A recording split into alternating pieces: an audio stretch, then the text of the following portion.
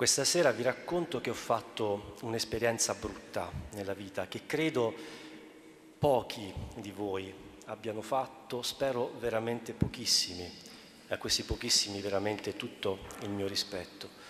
Questa esperienza brutta è quella di sapere che a un certo punto hai un cancro, una malattia che ti può uccidere Ora, grazie al Signore, io questa esperienza brutta non l'ho fatta tanto nel corpo quanto nella testa, ma poco cambia, perché tanti anni fa soffrivo di questa cosa che si chiama ipocondria, per la quale tu ti senti effettivamente che hai una malattia. E avevo questa paura così grande del cancro che a un certo punto me lo sono sentito veramente. E poi solo un dottore ti può un attimo rassicurare da questa cosa qui. Ma io ricordo, quando ero effettivamente convinto di questo, quel punto di vista diverso sulla vita che inizia ad appesantirti il cuore, no?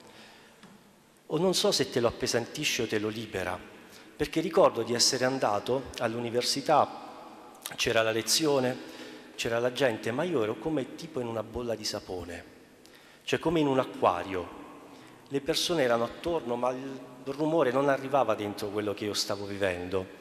E quando li sentivo, sapete, i discorsi degli studenti, ah il professore c'è l'esame, non abbiamo tempo, c'è troppo da studiare, non riusciamo, io in mente mia dicevo, ma questi perché sono così agitati?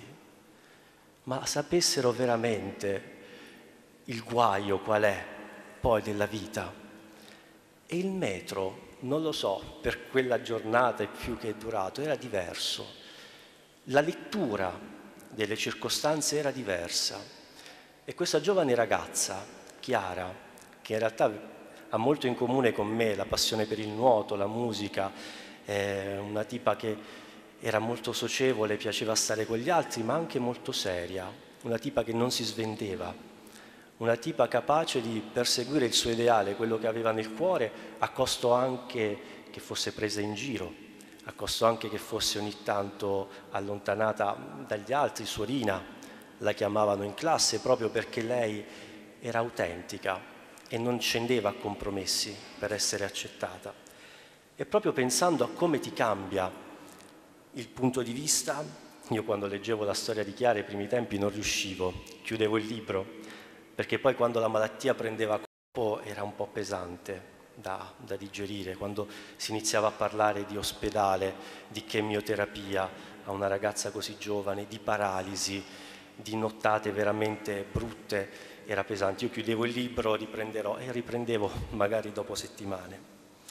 Lei dirà ai suoi amici, sono uscita dalla vostra vita in un attimo, o come avrei voluto fermare quel treno in corsa, che mi allontanava sempre di più, ma ancora non capivo.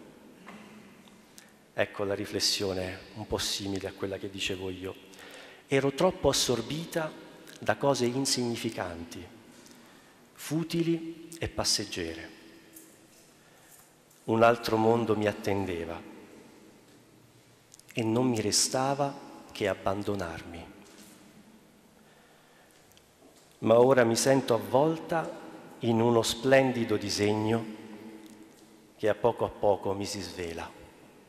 Non c'è tempo per riuscire ad arricchire e a trasmettere anche la concretezza di questa ragazza, ma sicuro oggi ci riporta un attimo a scendere nel nostro presente. Ogni volta che noi siamo affogati dal poi, ogni volta che non capiamo che c'è un magnifico, splendido disegno per noi, iniziamo a fare il nostro di disegno.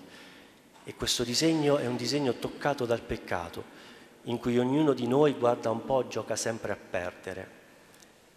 Il passato quindi è il luogo pieno di ferite, e il futuro è il luogo pieno dell'incertezza, ma conviene che io creda, lo dico ai giovani, nei miei sogni, conviene se poi può essere così difficile o non so che cosa fare.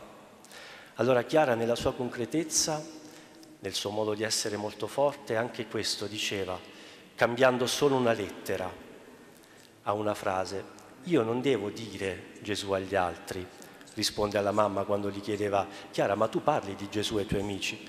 Lei disse, no mamma, io non devo dire di Gesù agli altri, io devo dare Gesù agli altri.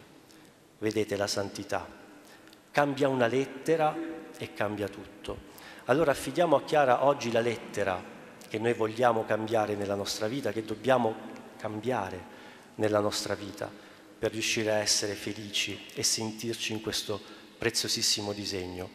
Lei dovette interrompere ovviamente la frequentazione della scuola, però a casa continuava a, studiarsi, a studiare, non ha voluto interrompere gli studi fino a quando ha potuto.